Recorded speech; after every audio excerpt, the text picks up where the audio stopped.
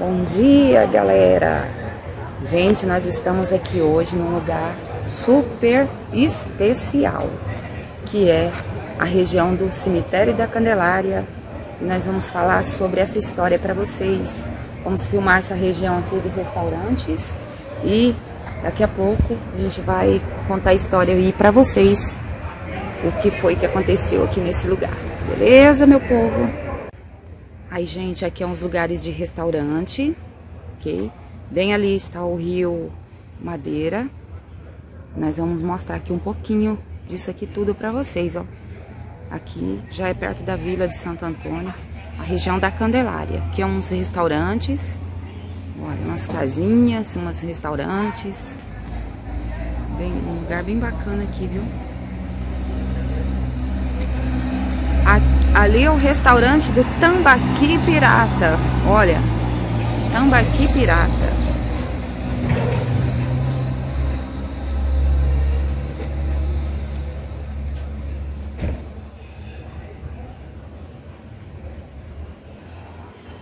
Vamos dar uma entradinha aqui, gente, no restaurante aqui pra gente comer um peixe aqui na beira do Rio Madeira, meu povo. Vem conosco aí. Olha, gente, um ambiente bem legal. Pessoal, nós estamos aqui, vamos comer. Vamos comer aqui um tambaqui assado, meu povo, nesse lugar lindo aqui, ó.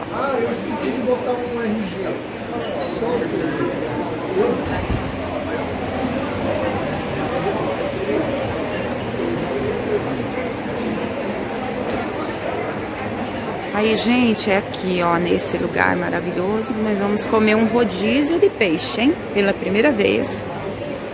Não sou muito fã de peixe, mas vamos que vamos. Olha lá o Rio Madeira. Madeirão lá, meu povo. Ó. Eita, lá em cima é a usina de Santo Antônio.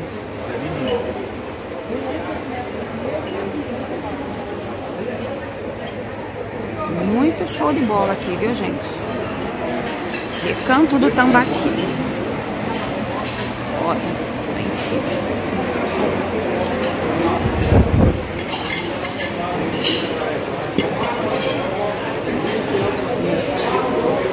Aí, gente, vamos comer um peixinho assado aqui, ó. Um tambaqui, um baião, as curiosidades da culinária porto-velhense. Uma pimentinha no tucupi, uma batatinha frita. Hum, e na beira do madeira. Olha, gente, que legal. Beira de madeira, tudo isso aí, ó. Muito show, gente. Olha aí, meu povo. Olha o pratinho aqui. Olha, meu povo, nós vamos filmar aqui a Estrada da Candelária. Pra vocês verem aqui, passar os trilhos, ok? Lá, ó, lá atrás é o Rio Madeira. Vamos ali então, gente?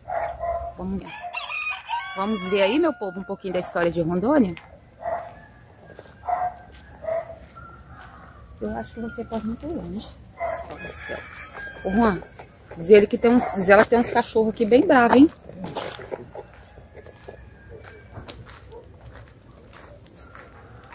Aqui é a trilha, gente, que vai para o cemitério. Aí, gente, a gente vê aqui uns, umas casas aqui na, na beira aqui da estrada, né? Os moradores que vivem aqui nessa região.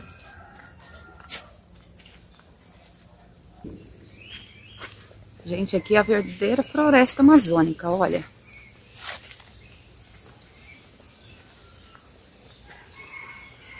Olha, uma pontezinha aqui que nós vamos passar. Um córregozinho ali, ó. Ui, essa ponte tá meio esculhambadinha, ó. Olha um córregozinho ali. Gente, ó o trilho passava aqui debaixo, ó. Ó os trilhos aí debaixo dessa ponte. Gente, estamos chegando aqui na entrada do cemitério da Candelária. Uma parte da história de Rondônia. Gente, olha como tá abandonado. Gente, aqui é a entrada do cemitério, olha.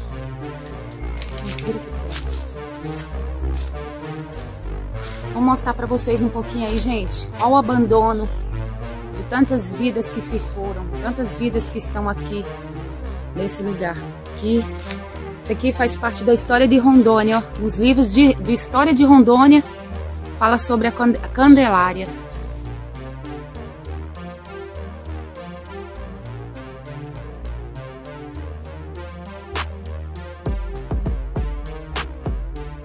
Esse cemitério foi construído para enterrar os mortos que trabalharam na construção da ferrovia, conhecida como Ferrovia do Diabo, a Ferrovia Madeira Mamoré. Olha, essa cruz aí, ela, ela foi feita com dormentes da estrada. A história diz que cada dormente, para cada dormente, seriam vários homens mortos no final do dia, que eram recolhidos pelos coveiros que passavam aqui. Então, nós vamos mostrar um pouquinho aí do abandono daquela que faz parte da história do Brasil e do estado de Rondônia. Gente, aqui é um espaço onde a prefeitura construiu, né? Eu acho que era para as pessoas virem aqui poder é, fazer os seus ritos religiosos, né? Sobre os túmulos, nós não iremos mostrar porque eles estão completamente desaparecidos no meio da floresta. As árvores tomou conta dos túmulos e eles, infelizmente, não foram preservados, que deveriam ter sido, né? Porque é uma história importante de Rondônia, né? Então deveria ter sido preservados. Mas eles não foram, então eles desapareceram completamente. Então, o que a gente acha é um ou outro, né? Bem longe, ainda tentando é, se manter, mas a floresta é muito agressiva, né? A selva é muito agressiva, então então ela destruiu a maior parte dos túmulos. Galera, eu tenho que contar para vocês uma história de assombração, gente, do cemitério da Candelária. É uma das histórias de assombração contada pelos moradores. Essa assombração chama-se A Mulher que Virou Árvore. É uma noite de lua cheia numa uma seringueira imensa, gente.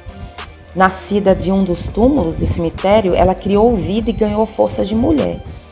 Essa mulher, ela começou a andar pelo cemitério é, numa fúria muito grande, numa tristeza muito grande por ela ter sido vencida pelas dores da, das doenças e ter morrido ali naquela região.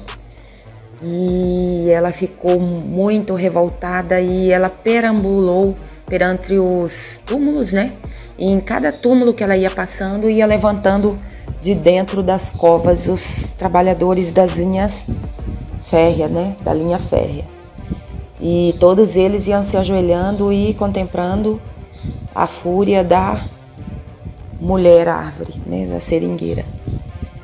Bom, o, o vigia que tava, estava naquela noite trabalhando lá, ele ficou muito apavorado com aquela cena.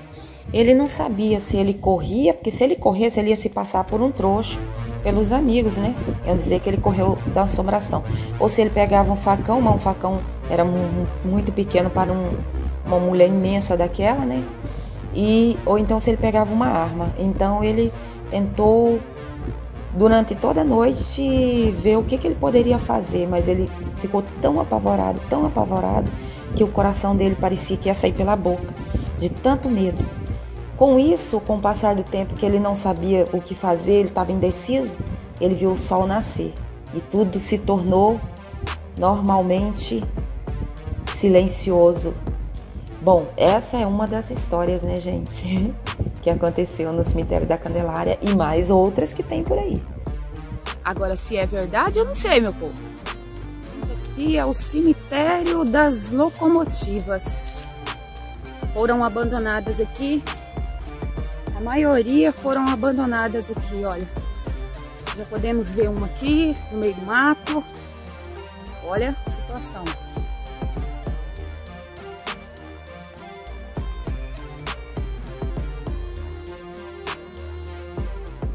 É, meu povo, é isso aí, ó.